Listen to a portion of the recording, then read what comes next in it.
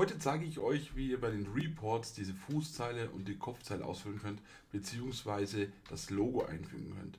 Alles mache ich gerade mit, der, mit dem neuen Report für die Subparts 2024, wo jetzt auch ein Mapping möglich ist mit euren benutzerdefinierten Einbauteilen und ihr könnt sonstige Vorteile nutzen wie Filterfunktionen, alle Einbauteile, Platzhalter, Montageteile oder Einbauteile und so weiter und so fort. Auch der Schwarz-Weiß-Button wurde integriert auf Wunsch und Nachfrage der Kunden.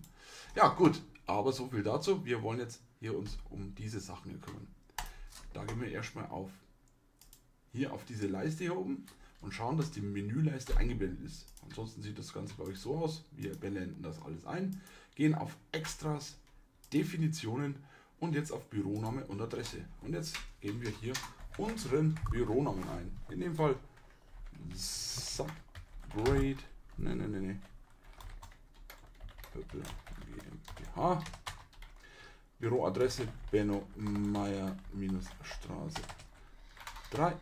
Telefonnummer 08464 246 9946.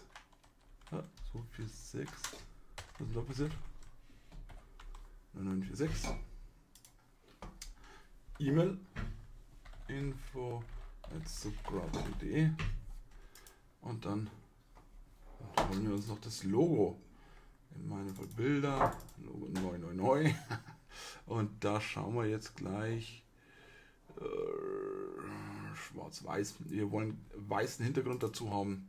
Deswegen füge ich jetzt das ein. Und wenn wir jetzt auf den Report nochmal gehen, dann machen wir Doppel-Rechtsklick und jetzt wird alles korrekt ausgefüllt hier unten und auch hier oben.